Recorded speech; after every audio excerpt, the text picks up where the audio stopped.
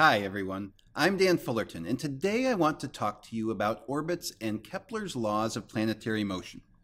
Our objectives for today are going to be to state Kepler's laws of planetary motion and use them to describe the motion of an object in orbit, to apply conservation of angular momentum to determine the velocity and radial distance at any point in orbit, and finally to apply energy conservation in analyzing the motion of an object projected straight up from the surface of a planet or straight down to the surface of the planet. So let's start out by talking about circular orbits.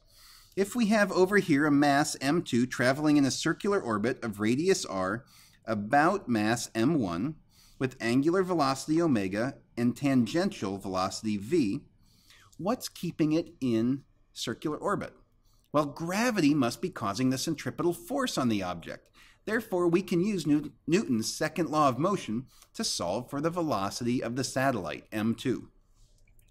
Let's do that by starting off by writing Newton's second law, F net c equals mac for an object traveling in a circular orbit. And we know that that has to be caused by the force of gravity. Now we also know, using Newton's law of universal gravitation, that the magnitude of the force of gravity must be g m1 m2 over r squared and we also know that AC is going to be equal to V squared over R. So, rearranging this a little bit, the left-hand side we have M times our AC, V squared over R, and that must be equal to our force of gravity, G, M1, M2, over r squared. All right, couple simplifications I can make right away. This is our orbiting mass. That's our orbiting mass, m2. Those can make a ratio of 1. And if I multiply both sides by r, that goes away. And I'm left with v squared equal to g m1 over r. Or if I want just the velocity, that'll be the square root of g m1 over r. So there's the velocity for an object in circular orbit. And note that there is no dependency on the mass of the satellite of the orbiting object, only a dependency on the mass of the central object and the radius, the distance from the center of the object to the center of the other object. All right, let's go and take a look at the period and frequency for circular orbits period is the time it takes for the satellite to make one complete revolution or one complete circumference of its circular path. And we can solve for that using the velocity that we just previously discovered. And once we have that, frequency is just 1 over the period. So that's kind of a no-brainer. To start this analysis, to find the period, we're going to begin by saying that the distance it travels in one complete orbit must be 2 pi r and that's also equal to the distance traveled, v, the velocity, times the time it takes for one complete orbit, the period. Right away, you can see that we can start solving for the period t equals 2 pi r over the velocity. But we just learned that velocity is the square root of gm1 over r. So I can rewrite this now as t equals 2 pi r divided by v. But v is the square root of gm1 over r. Or with a little bit of algebraic rearrangement, that's 2 pi r over, we've got square root of gm1 square root of r. That looks just a little bit awkward, so why don't I square both sides, square t and square the right-hand side to make this a little bit easier to comprehend. And we'll write this, the left-hand side, t squared is just t squared, of course.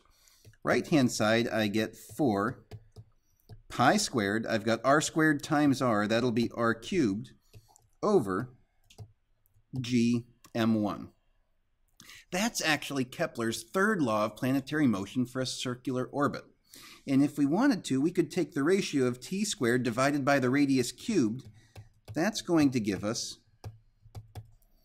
4 pi squared over gm1. That's known as Kepler's constant. It's roughly the same for all the planets in our universe, and it's somewhere near 3 times 10 to the minus 19 seconds squared per meter cubed.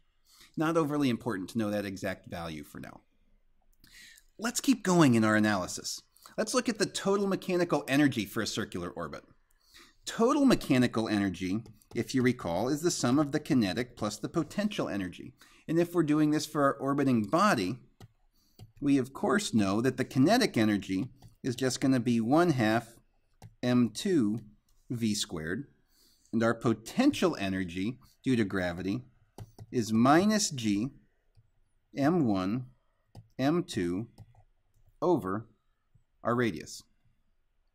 Therefore, our total energy is going to be equal to our kinetic 1 half m2 v squared plus our potential minus g m1 m2 over r.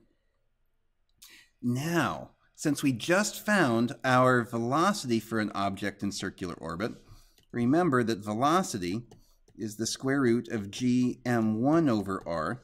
Therefore, the square of velocity must be gm1 over r without the square root.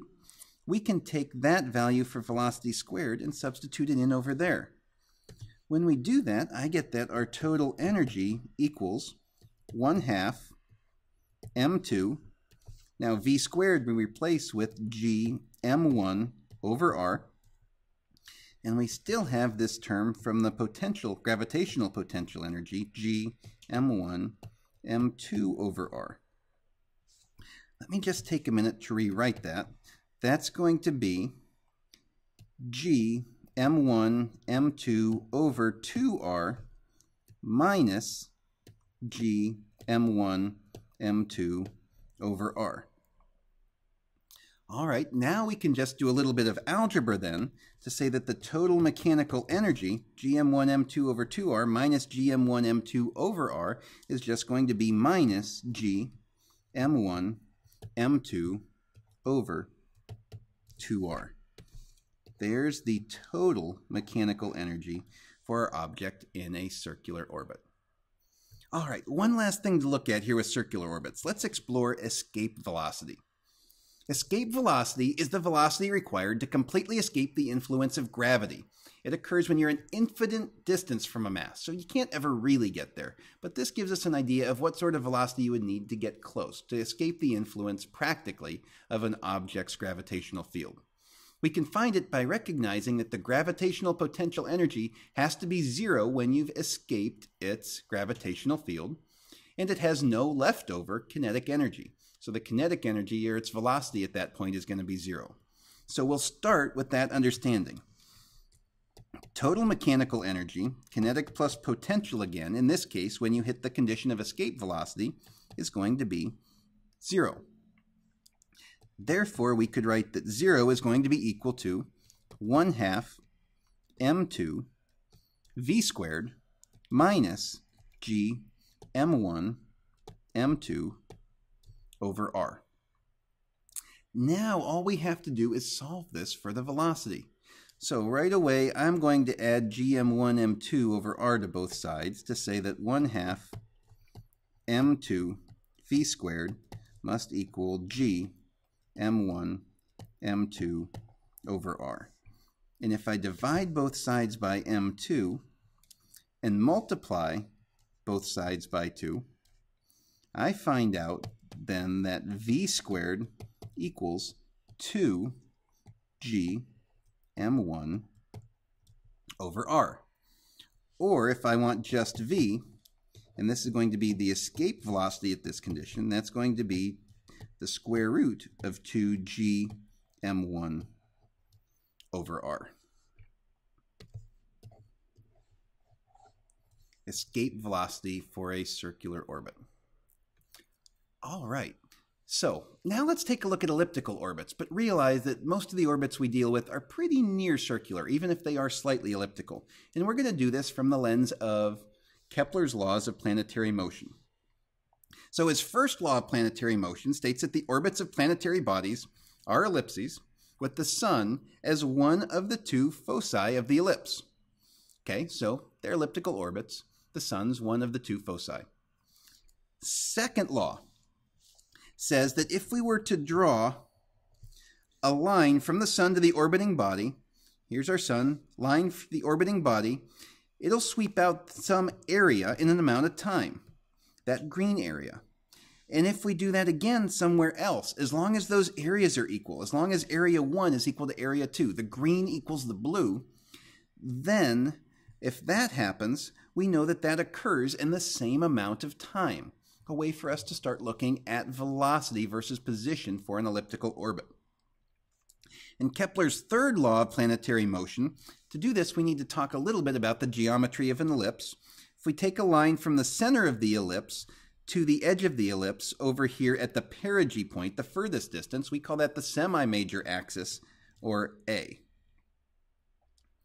Now, oops, pardon me, perigee apogee point. Apogee is the farthest point from the center from the uh, from the sun. Perigee is the closest point. But if you take the long distance across the ellipse, the long, almost a radius of the ellipse compared to the short radius of the ellipse, we're talking about the semi-major axis. When you do this, the ratio of the squares of the periods of the planets is equal to the ratio of the cubes of their semi-major axes. Or like we derived earlier for a circular orbit, t squared equals 4 pi squared. We had r cubed before, now we're going to have a cubed for an elliptical orbit over gm1. And when we take this ratio, t squared over r cubed, or t squared over a cubed, we're going to get something close to about 3 times 10 to the minus 19 centimeters, or seconds squared per meter cubed. That's known as Kepler's constant. So, Kepler's three laws of planetary motion. Let's go a little deeper into our analysis now. Let's take a look at the total mechanical energy for an elliptical orbit. And we're just going to look at this one very briefly, not in quite as much depth as we did before.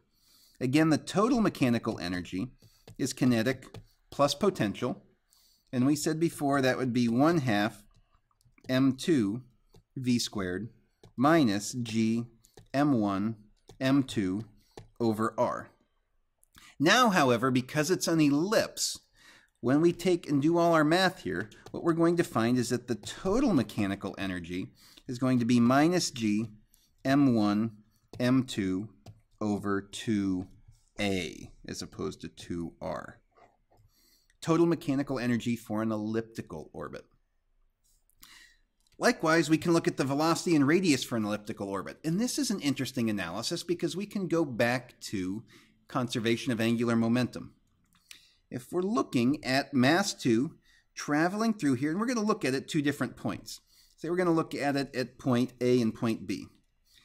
First thing to note is if we take a look at the change in the angular momentum with respect to point P, with respect to time, the rate of change of that time, that's going to be the net torque. But in this case, we don't really have any net torque because the force is always going to go back through that axis. Torque is zero. If there's no torque, there's no change in the angular momentum. Therefore, the angular momentum about point P must be conserved. It's got to be the same. So if we look at this, the magnitude of the angular momentum about point P, and let's look at it, say, here at point B versus at point A. That's going to be m2 times the velocity at A times the radius to A times the sine of theta when we're at A. Oops, over here at A. And if we do the same thing at B, it, since it must be the same, m2 velocity at b, rb sine theta b must all be the same. But note that the angles theta at A and B have to be the same, right? They have to be 90 degrees because we've got a tangential velocity to that radius. If those are 90 degrees, sine 90 degrees is one here and here. Those angle dependencies go away, and by the way, mass 2 can be divided out of both sides. So we can then state that the velocity at A times the radius at A must equal the velocity at B times the radius B. All right, Let's take a look at one last application as we look at orbits. We have a rocket that's launched vertically from the surface of the Earth with an initial velocity of 10 kilometers per second. What maximum height does it reach, neglecting air resistance? And it tells us the mass of the Earth and the radius of the Earth, but we can't assume that the acceleration due to gravity is constant because we have such a changing distance from the center of the Earth. We're going to have a changing gravitational field. So let's solve this one by taking a look at conservation of energy. If we do this, we have to note that at the surface of the Earth, the kinetic plus the potential energy has to equal the kinetic plus the potential when it's way above the Earth. So I would start this analysis by writing that the initial kinetic energy plus the initial potential energy has to equal the final kinetic plus the final potential energy. Or at the surface of the Earth, that's 1 half m2 v squared plus the potential energy at 1 Earth radii, negative g m1 m2 over the radius of the Earth has to equal the final kinetic. Well, at its highest point, the velocity is 0, so the kinetic is 0. So that has to equal the final potential energy. That's going to be minus g m1 m2 over r, whatever that maximum radius is. So now let's do a little bit of math and see if we can't solve for v. Pardon me, we're going to solve for r. I stated that incorrectly. So as we solve for r, we could say that v squared, if I multiply by 2 over m2, we can cancel out all these m2s, multiply that by 2, that by 2, that by 2, v squared minus 2g m1 over radius of the Earth must equal minus 2g m1 over r. Or a little bit more rearrangement. 1 over r therefore equals minus v squared over 2g m1 plus 2g m1 over 2g m1 re. Or, continuing our simplification, 1 over r equals minus v squared over 2g m1. Well, over here on the right-hand side, 2's cancel out, g's cancel out, m1's cancel out. I just have plus 1 over radius of the Earth. All right, so 1 over r. Now I can start to substitute in my values. I've got minus v squared, so that's going to be minus 10 kilometers per second. That's 10,000 meters per second squared over 2gm1, that's 2 times g is 6.67 times 10 to the minus 11 newton meters squared per kilogram squared, times the mass of the Earth, 6 times 10 to the 24th kilograms, plus 1 over the radius of the Earth. The radius of the Earth is about 6.37 times 10 to the sixth meters. Go through the math there, solve for r, and I find out then that r is equal to about 3.12 times 10 to the 7 meters. So that's the maximum distance from the center of the Earth that our rocket reaches. But we want the height above the surface of the Earth. So then the height is going to be r minus the radius of the Earth, which is going to be about 3.12 times 10 to the 7 meters minus radius of the Earth, we said 6.37 times 10 to the 6th meters. I'll leave that one for you guys to finish up. Hopefully that gets you started with orbits. If you need more help looking for more information, check out aplusphysics.com. Thanks and make it a great day.